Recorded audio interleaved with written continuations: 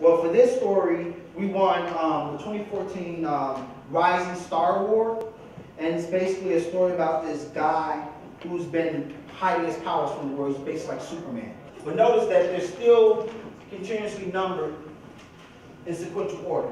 And again, this helps your artist and your letterer know who's talking and where to place the balloons, right?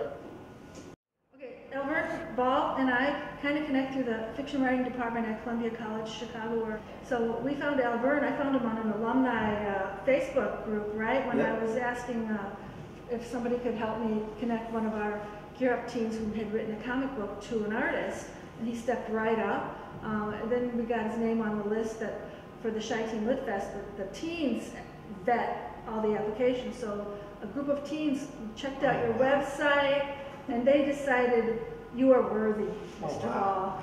I Um, feel so honored. yeah, I so- didn't know that. Yeah, isn't that awesome? Yeah, it is So, very awesome. uh, I guess my first question is, what made you um, accept their invitation to, Uh, to be a headliner at the ChiTeen Lit Fest this year? Uh, I did the workshop last year and had so much fun just sitting around talking to these teens. And um, and when I was asked to do the Shot Town Fest, I was like, yes, yes, definitely would do it because I had such a good time last time with just a small room of kids. I just thought, man, this would be awesome. So you're from, where'd you grow up in Chicago? I grew up on the west side of Chicago on Kostner and Congress in what the streets called K-Town.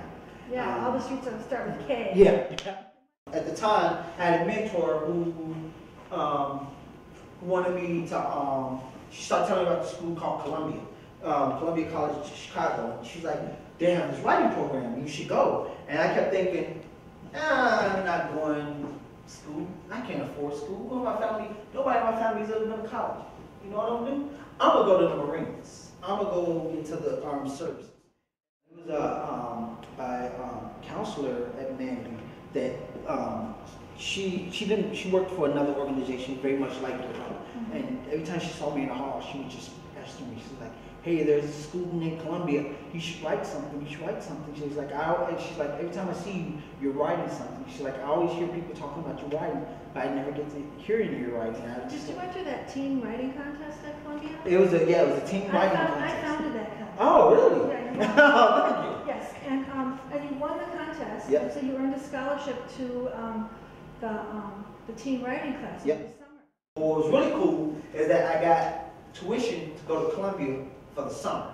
Because they have this really cool summer program where they bring all these kids from all these high schools around the country to come to Columbia for the summer. So I was like, all right, yeah, okay. I'll go take these classes for the summer, but I'm letting y'all know I'm still going to the Marines after this. Well, I took this class, this writing class, and there were these kids, they were from all over the country, especially here in York. They were from like big, rich counties and, and cities, and I'm like this little poor kid from the hood. And after that, I thought, you know, I want to get better. I want to be a better writer. Because they were telling some phenomenal stories, but they weren't telling the stories like I was telling them, and I thought, I want to be better. I want to be better than them. I have to be better. So I decided, I'm not going to be a Marine.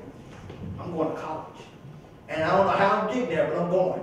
But the reason I'm here is because I'm hoping that um, my story and, and things I'm talking about really reaches, if it reaches one kid, that's what I was telling um, um, Griselda is that I had a teacher um, when I was in high school, and um, we got introduced to Macbeth and Othello, and I love both of those. And one of my teacher, her name was Miss Hammersley at the time. She um, she went against the curriculum, and uh, and what I loved about her is that she allowed me. Um, we had to do like a report on Macbeth, and um, she allowed me to write my report the way I wanted, envisioned writing it, which was I was really into like movies like The Godfather and stuff. So I wanted to write this gangster version of Macbeth, and she allowed me to write this gangster version of Macbeth. And so I thought um, me coming in and talking to students, if they can see me, then maybe they can see themselves looking past their freshman and past their their, uh, their um, senior. Because I know when I was a freshman, all I could see were what was in front of me, what was around me, and and sometimes that was just doom and gloom. I just remember there were so many different people that when I look back, they really helped me. And I didn't even realize they were helping me, even if there was just a word of advice. And so I'm just hoping that the stories that I'm telling, I'm, I'm hoping if it reaches one kid in this class, they go, you know what, I do like stories, yeah. Maybe I want to be a writer because So writing has been like your sword, right? Yeah, and That's even before I even knew it. You, you slash your way, you open the doors and you make, you built your life around your love of reading and writing. Yeah, And you're excited to come show kids what, what a, what a profoundly professional, dedicated reader and writer looks like. And yeah, and yeah, and, and that's my thing that I'm trying to get. I just, that's what I feel like. If I'm, if I'm talking to these kids in this class, if they can relate and they can see that, you know, I come from a tough neighborhood, and I came from literally, you know, from the bottom up. Then if they can see that, maybe they they'll see the same thing. Thank you very much. Thank you me.